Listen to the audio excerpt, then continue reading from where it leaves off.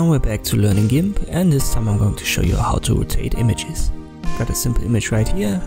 The canvas size has the same size as the image. As you can see here is the transparent background. Now I want to rotate it just a little bit clockwise. Just hover over the scale tool and you see the rotate tool has shift R as a shortkey.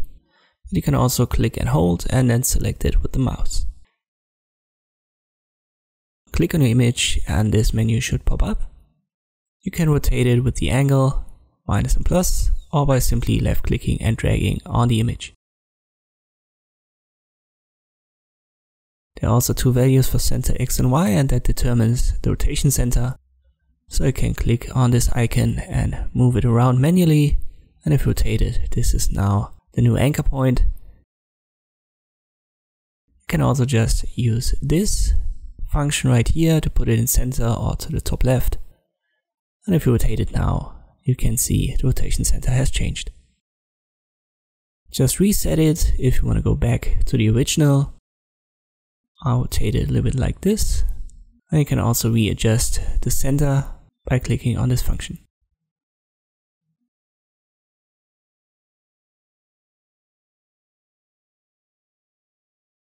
If you've got what you want, don't just leave, instead press enter it takes a little bit of processing time. But this is the result. But you can see we've got these black areas where the canvas is. So we need to scale up the image a little bit. You can see the short key for that is Shift S or just left click, hold and select it.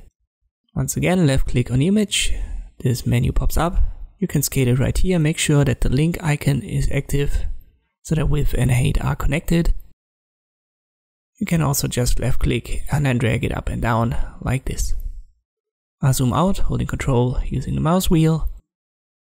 And now the image has the size that I want to cover the canvas. Just press enter once more.